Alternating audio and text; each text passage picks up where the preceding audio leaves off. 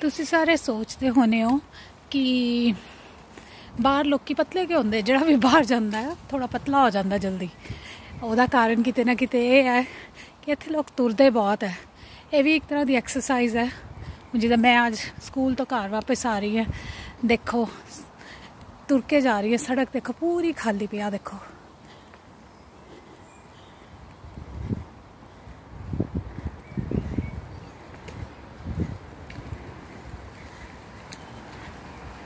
ਪਰ ਇੱਕ ਗੱਲ ਮੰਨਣ ਵਾਲੀ ਹੈ ਕਿ ਇੱਥੇ ਹਰਿਆਲੀ ਬਹੁਤ ਹੈ।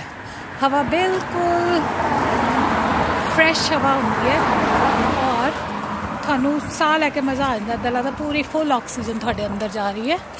ਸੋ ਇਸ ਗੱਲੋਂ ਇੱਥੇ ਵਧੀਆ। ਸੋ ਥੋੜੀ ਟਾਈਮ 'ਚ ਮੈਂ ਘਰ ਪਹੁੰਚ ਜਾਣਾ।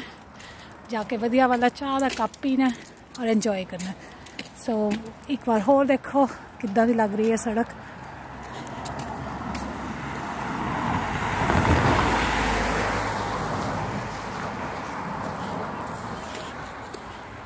ਸੋ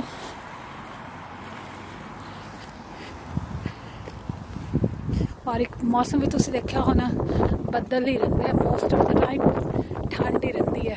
ਤੁਹਾਡੇ ਉੱਥੇ ਪੂਰੀ ਗਰਮੀ ਪੈ ਰਹੀ ਹੈ। ਸਾਡੇ ਦੇਖੋ ਐਨ ਠੰਡਾ ਮੌਸਮ ਹੋਇਆ ਪਿਆ।